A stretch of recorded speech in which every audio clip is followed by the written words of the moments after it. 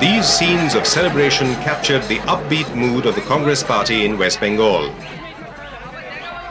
Although the ruling left front managed to squeak past the winning post in a narrowest of victories in the Calcutta Municipal Corporation elections, analysts almost unanimously agree that it was the Congress which was the moral victor.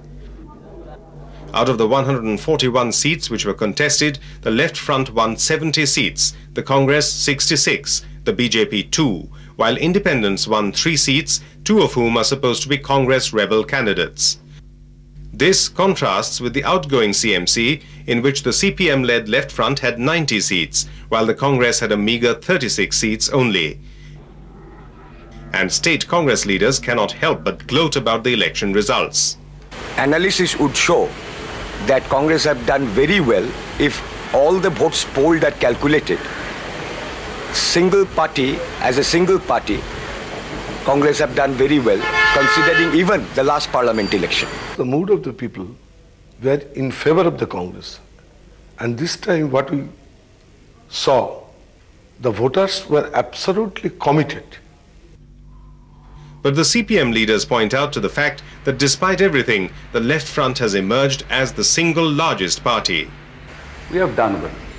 But there are other factors and people as a whole, they have not uh, accepted our position. This is not the point because we have become the largest party. Therefore, majority of the people supported us. This follows significant reverses for the left front in the recent municipal elections in the districts, where the Congress made major inroads.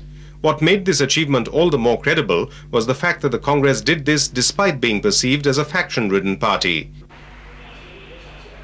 This unexpected outcome was seen by observers as a chink in the left front's urban armour. The results of these municipal elections had unnerved the CPM Politburo to such an extent that the Chief Minister, Mr. Jyoti Basu, who was going on a visit to UK and USA, asked Senior Minister, Mr. Buddhadev Bhattacharya, to stay back and oversee the campaign for the CMC elections. By West Bengal standards, the recent elections were peaceful, and this has been partly attributed to the heavy deployment of Rapid Action Force. But this did not deter senior Congress leaders of accusing the left front of manipulating some of the results. The uh, returning officer said you are elected, you just come tomorrow morning and collect your certificate according to rules.